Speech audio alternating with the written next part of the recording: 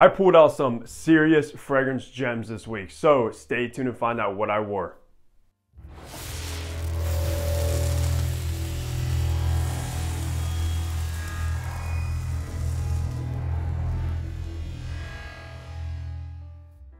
Hey, what's going on? Hunter here and welcome back to my channel. And if you are new, what I do is I make fragrance related content. So if you love fragrances, make sure to hit that subscribe button down below and also follow my Instagram page. But that's right, Another week, another rotation video as usual, dropping every single Monday. So if you are familiar with this series, what I do is I tell you what fragrances I chose to wear on each day, how many sprays, the kind of weather it was, and if that got any compliments or not. So let's just get right into Sunday. All right, on Sunday it was in the low 30s, a snowy day as well, and I pulled out a brand new Chanel I added to my collection, and that is Platinum Égoïste. Pure sophistication, guys. This is so classy. It's a very nice aromatic fougere fragrance with some metallic qualities as well. Coming with that platinum name, that's kind of what you expect by looking at the bottle also.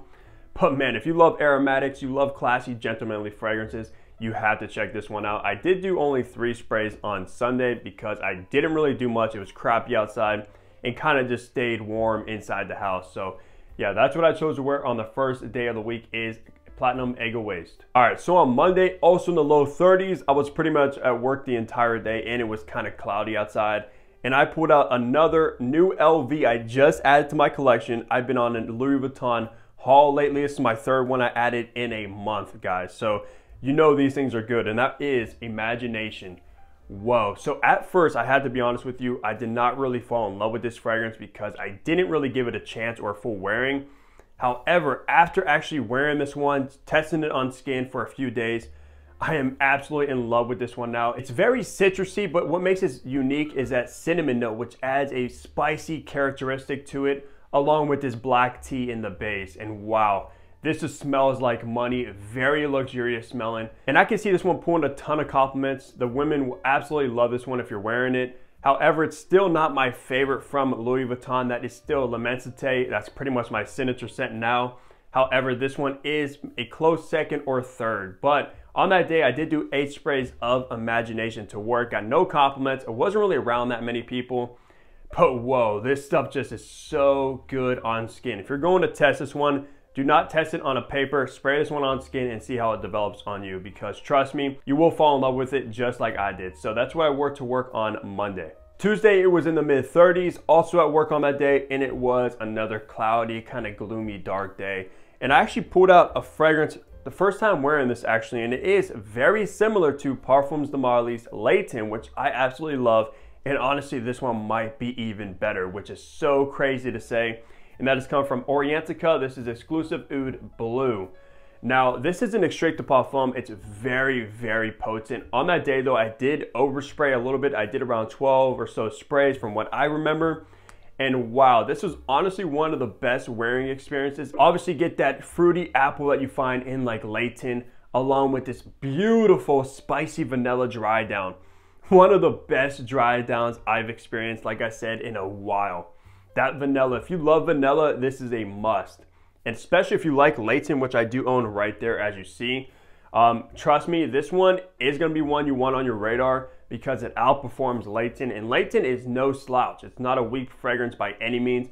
This one just absolutely blows it out of the water when it comes to performance. Orientica in general is a house that just makes absolutely potent fragrances. They do have fragrances that are similar to others, but man, they just pretty much take it to a whole nother level. So highly worth checking out Orientica's exclusive Oud Blue. Wednesday, it was a little bit warmer, still in the low 40s. However, it wasn't snowing. It happened to be raining pretty heavily on that day.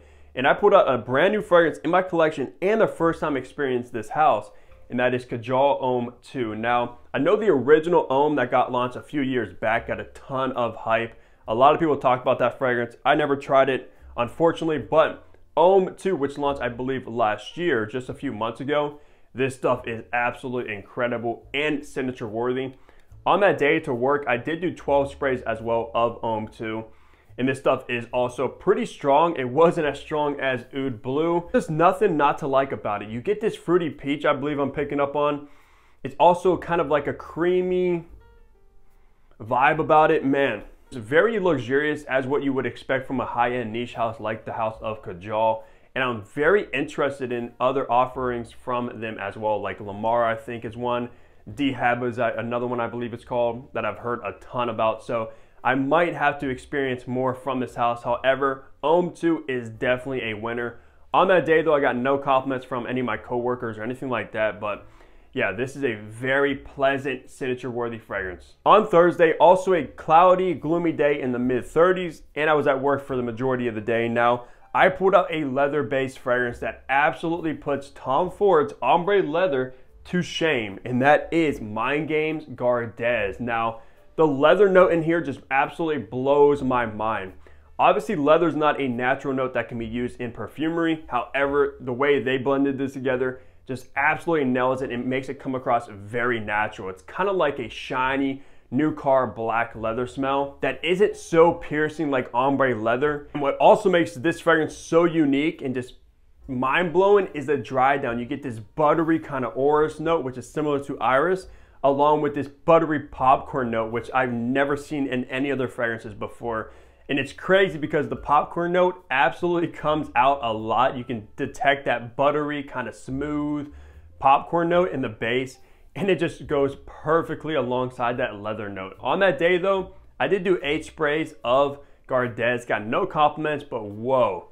I just smelled like a brand new car walking around, like a brand new leather jacket that's pretty much been cleaned and shined up. It has this shiny vibe about it. And yeah, I absolutely love Gardez and is one of my favorites from the entire house of Mind Games. On Friday, it was in the low 30s and cloudy and gloomy, kind of like it's been all week long. Unfortunately, I cannot wait for the warm weather to start coming and spring comes along, which should be very, very soon, hopefully. But on that day, I actually did do some errands. I had to go to a Land Rover dealership, get things looked at, get oil change, etc. Then after that, I actually went shopping where I actually bought a new fragrance that you'll see in the next day. And also want to let you know if you want to see more in depth of my life and stuff like that, make sure to follow my Instagram because I do post a ton of stories over there. So on that day though, I actually did pull out my signature scent, of course, and that is Louis Vuitton L'Immensité. I absolutely love this fragrance so, so much. And that's why I pretty much made it my signature scent. It's very versatile, can be worn all year round, all seasons, all occasions. It is sort of similar to Bulgari's Tygar, which gets a ton of hype, but this one has more depth, more character, and more personality with that grapefruit, that ginger note, and you have the aromatic qualities as well as it dries down.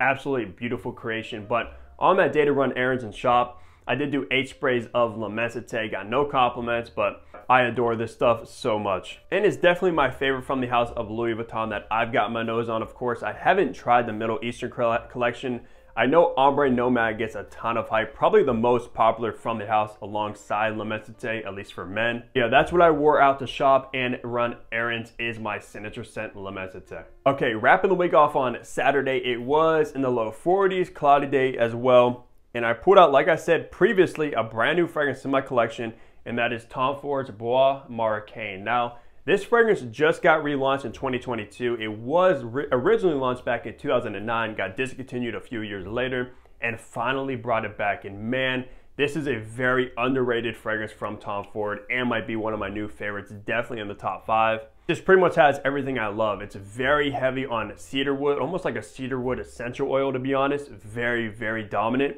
But you also get this smoky incense note, which I absolutely love so much. You know I love my fragrance scents, my incense my resin, stuff like that. And this is very similar to Ebene Fume. I haven't tested them side by side, but it does sort of have that similar quality.